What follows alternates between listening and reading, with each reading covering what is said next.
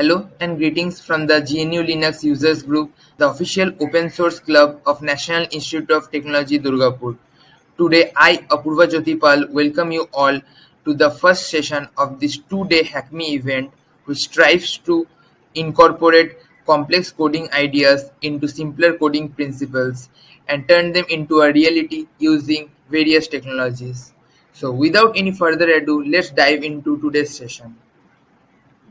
So about the project we are going to build in this iteration of HackMe. So we will be building a WhatsApp bot using Twilio and Python. This bot will include features like scheduling messages based on events you set on Google Calendar. We will be using the Google Calendars API for this purpose and the Twilio API for scheduling the WhatsApp messages. So before we dive into the actual coding part, I would so before we dive into the actual coding part, I would like to make you guys familiar with some common terms which will be going which we will be going to use in this session frequently. So the first term that is so the first term that we will use is a bot. A bot is basically a computer application that runs automated tasks over the internet.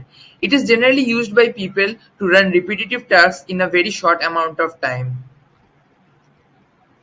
More than 50% of the internet traffic is consist is is generated by bots. Now coming to Twilio. Twilio is a third-party platform which we will be going to use in our project. It provides various APIs for scheduling calls, messages, WhatsApp messages, etc. We will be particularly focused in Twilio Sandbox API for scheduling our WhatsApp messages. Now coming to API. API or application programming interfaces are mechanisms that enable two software components to communicate with each other. It's basically like a set of protocols that allow two black boxes to communicate with each other and only focus on the data rather than the internal working mechanisms of the processes. It usually easy it usually eases the task of developers only focuses only on the data and hides all the level of and hides all the details of complex processes under a layer of abstraction. API architecture is usually explained in terms of client and server. The application sending the request is called the client and the application sending the response is called the server.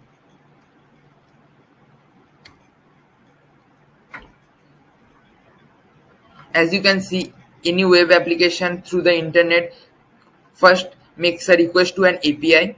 It then connects to the web server. The API makes the request.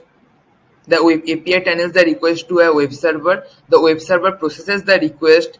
There are various components involved with the web server like databases, memory, and other stuff. The web server, after processing the request, shares the result with the API, and the API again sends the response back to the web application. So API acts as an so the API acts as an interface for basically all the programs that are present over the internet. Uh, finally, before going into the project, I would like to discuss, I would like to make you guys familiar with the project architecture that we are, that we are going to use. So this project architecture basically comprises of four major components. We have Twilio that handles the messaging part through the WhatsApp infrastructure. We have a backend server which is generally based on Flask in our case, which will be sending the response based on the type of messages. And we have the Google Cloud Calendar API, which is ba basically for scheduling the events that we would like to send our notifications for. Since we will be using Twilio in our project, we first have to create an account in it.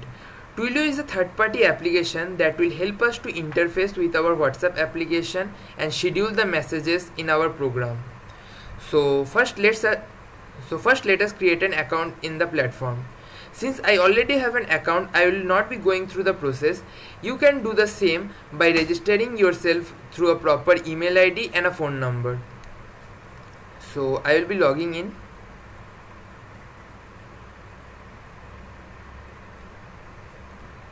you have to give your email id through which you have registered in the platform.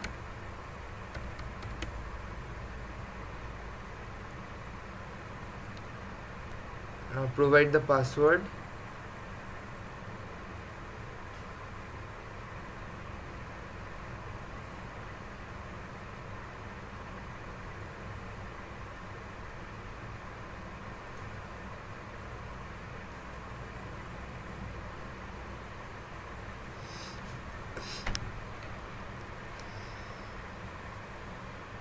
so after logging in we can see this kind of a dashboard which contains various information about our account like account sid or token which are not of any use for us in this project. So without wasting any time let's dig in into the actual crux of the project. So we want our application to schedule messages in whatsapp. So for that we need to create a sandbox.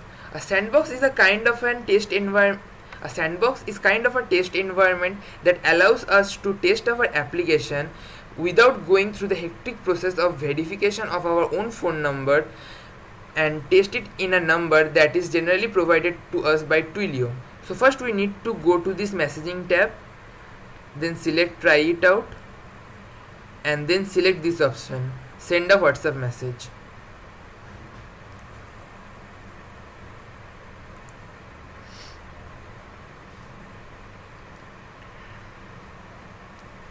So we can see a loading screen presented to us. Okay now to connect our application to the sandbox for Twilio we have to send a code joint slightly we have to send a code joint slightly partly that is highlighted over here to this number.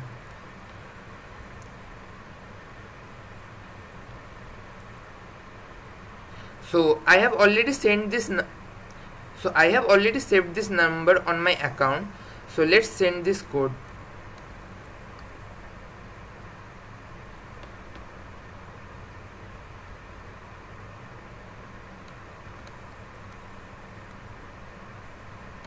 So let's send this code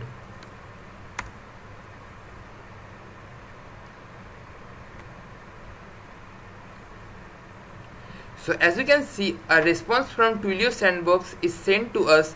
Say so as you can see we get a response that we are all set for our Twilio sandbox. So with this our Twilio sandbox is now activated and we can play with it.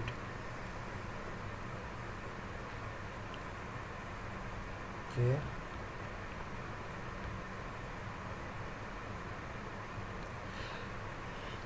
So now jumping so now before jumping further we have to configure our Twilio sandbox to make it properly interactable with the backend server to the level that it can schedule messages for us. So before jumping further we have to make our so before jumping further we have to configure our Twilio sandbox so that it can schedule messages for us So now our Twilio sandbox is in place to interact with our WhatsApp interface and respond to our messages. But the Twilio sandbox on its own can't decide what response to be sent back to our mobile numbers. For that, we would require a server that would pass those messages and decide a proper response that can be sent through those Twilio APIs. For this purpose, we'll use a Python-based Flask development server running on our local machine. So without any further ado, let's go through the process of setting up the server in our machine. For that, first we'll need to set up a virtual environment in Python.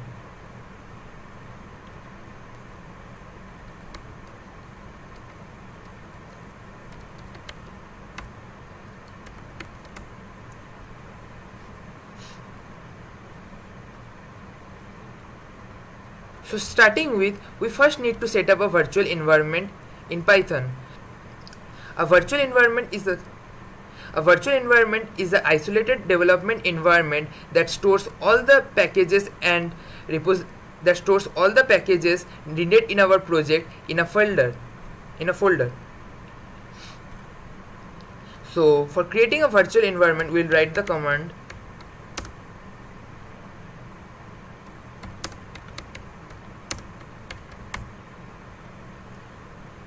takes some time to create. And as we can see the virtual environment is created. So let's check. And as we can see a inf so we can see a int directory is created in our folder. So this is our virtual environment folder. So let's activate it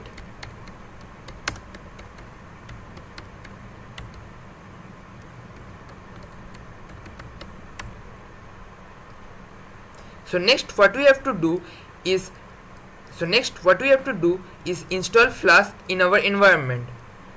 For this we will use pip.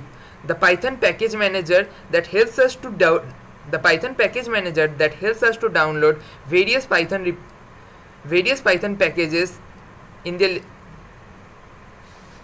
the python package manager. For this purpose we will use pip the for this purpose we will use pip the python package manager that helps us to download the latest version of various python packages. Install flask.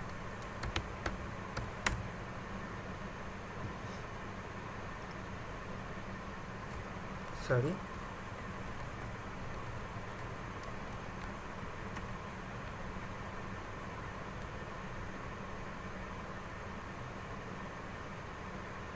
as you can see the flask module and various other modules on which it is dependent on are downloaded by pip and as you can see it shows us that pip is successfully downloaded along with several other modules along with several other modules which are connected with it.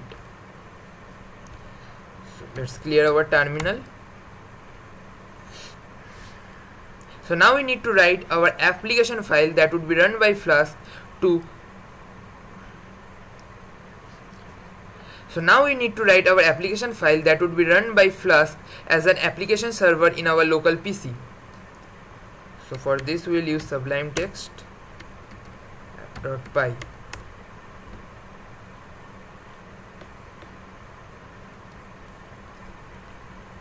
So now we'll write our Flask code. So first of all we have to import our Flask module.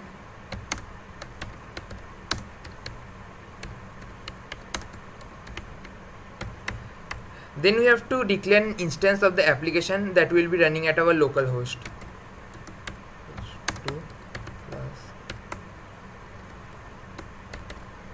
This basically just takes the name of the current module as input. Nothing special about that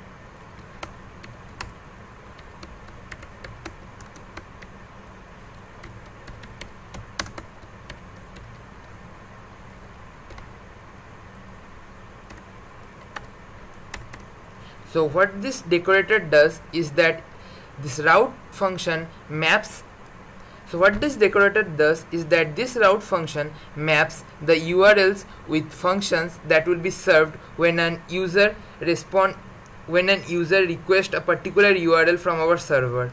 So when a user goes basically to our home page, he will be returned with the hello world string. So now going to the final piece of the code, we will just start the server if name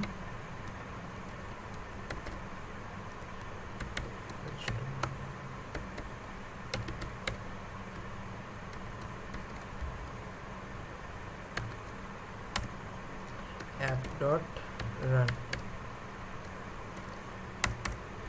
So with this a basic flask template is created that would run a local a basic flask template is created that would run a local server on our personal machine. So let's try to run it. So let's try to run it. First we need to save the project. Okay so now it's saved. Okay so let's run flask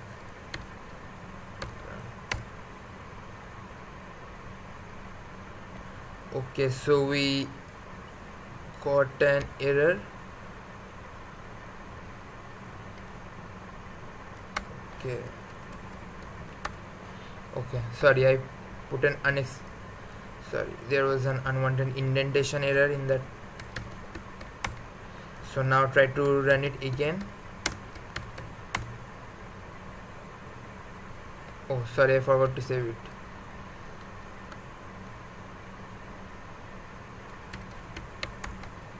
okay now let's try to run it again. Okay so as we can see a server is being run on 5000 port of our local machine. Like let's try to check that out.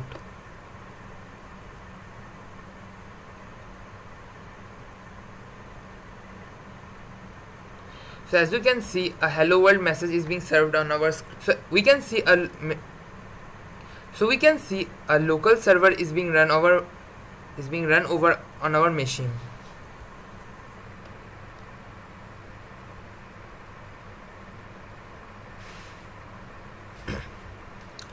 So now let's again get back to our Twilio sandbox config settings. For our backend server to work in synchronization with the Twilio API we need to we need to put our backend's URL into this input but as we know the backend is working on our local machine. It's not exposed to the public internet. This is where ngrok comes into place. Ngrok is a reverse proxy service which can securely tunnel our port running on the local machine over the public internet. So this so this means we can use ngrok to make a service that is running on our local pc available over the world wide web so let's try it out. First we have to install ngrok.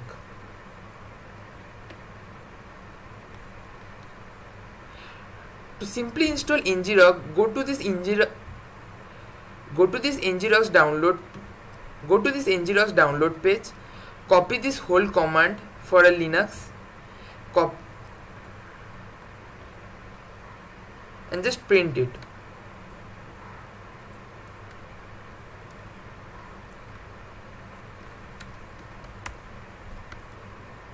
and just print it. Ngrok will be installed. Since I have already installed ngrok I will not be going through this process. There is one more step left to set up ngrok that is first go to the ngrok first go to ngrok's official website sign in and then get your authentication key and just add it to the config using this command. You can get your auth token you can get your token like this copy it out and just add your config file and just add it to your config file. So you will be just copying this whole thing and putting and putting it in the terminal. This will complete your ngrok setup in your local machine.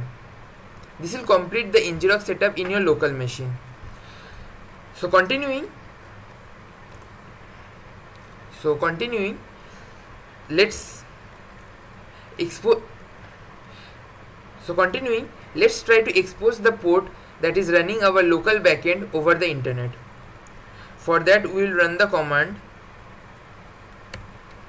for that we will run the command for that we will run the command ngrok http and the port number we want to expose.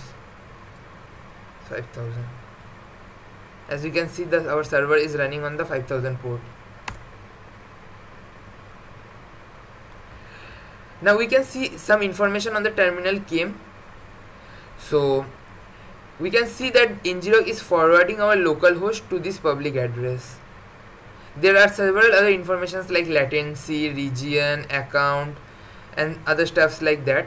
But the main thing that concerns us in this project is this url so this is the public url that is mapped to our local public that is mapped to our local pc so let's try it out.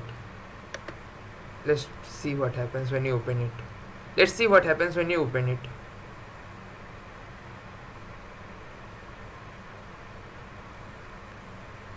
Okay let's visit the site. So as we can see we again get back to our hello world page. So this means so what this means is that ngrok is taking the local service that is running on our PC and publishing it over the World Wide Web. This way we can use the services our in our local machine. So now let's put this URL in our config file. So now let's put this URL in our sandbox config settings.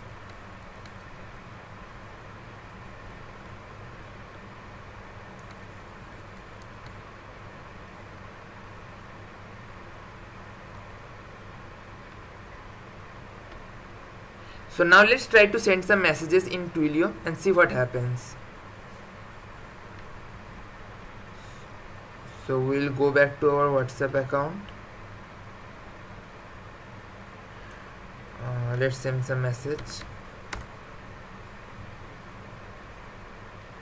Okay we sent hi. Nothing happened. Let's see if we received something.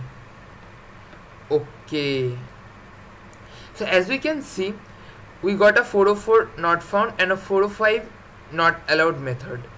So what this means is that a post request was sent to the, our server. And if we look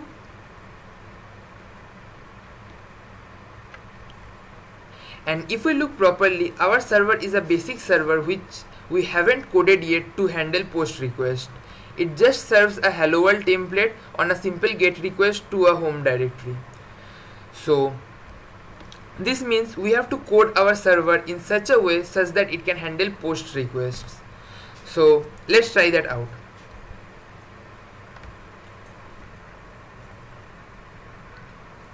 So before we write any code we need to download another library which will make our life easier in this case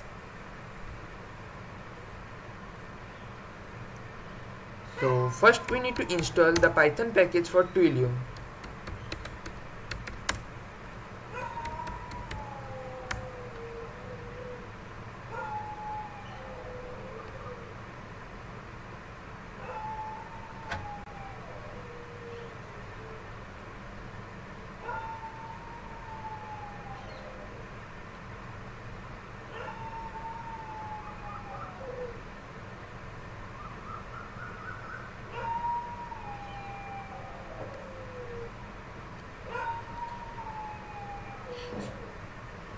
so as you can see that so as you can see that our Twilio package is installed. So let's get back to our code.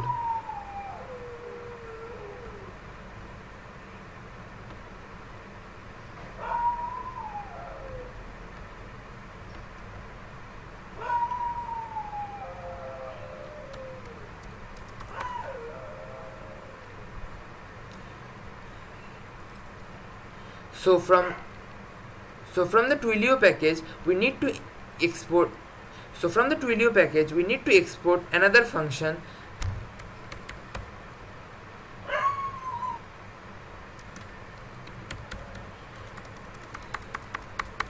So from Twilio we will use another function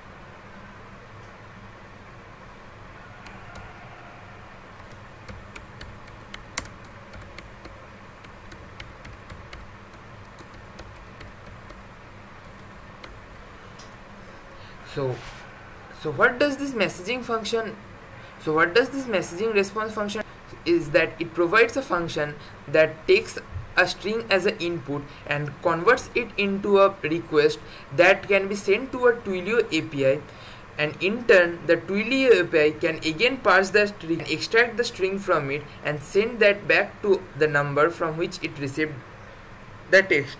our life easier so it makes the job easier for so it makes the job easier for us. So it makes the job easier for us. So now we need to write the routes for the post request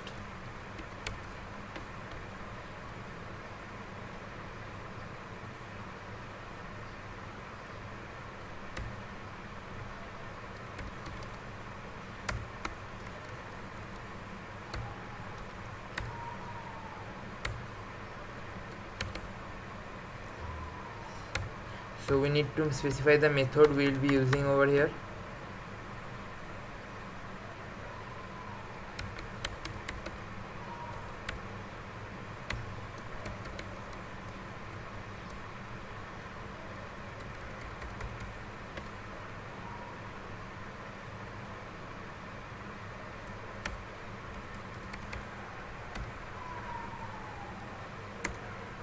so now we need to write the function that will handle when a request is being sent to this URL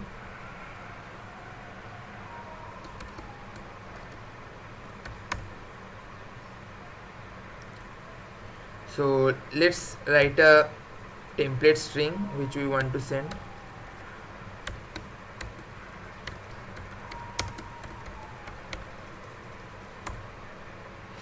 so here's where our function messaging response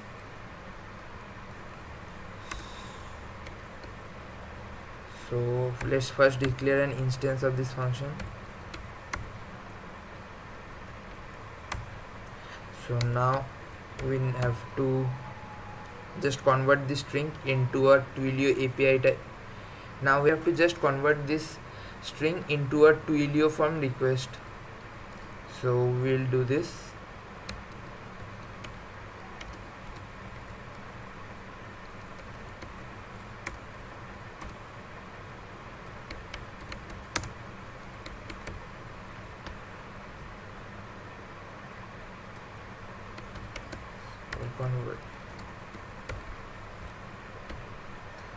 So let's save it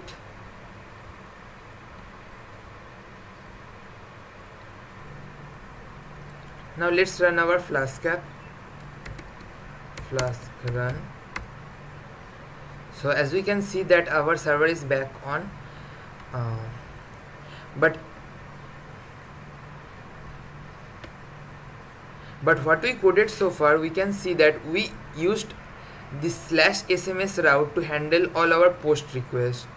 So we need to make this change over our sandbox config URI also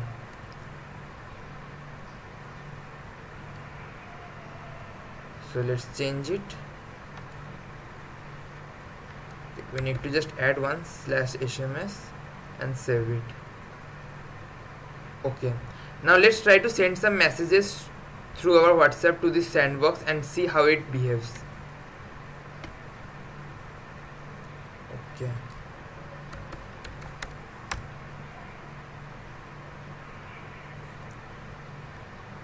So as we can see, we are sent a hello there message, which is the same string we passed, which is the same string we passed back in our code.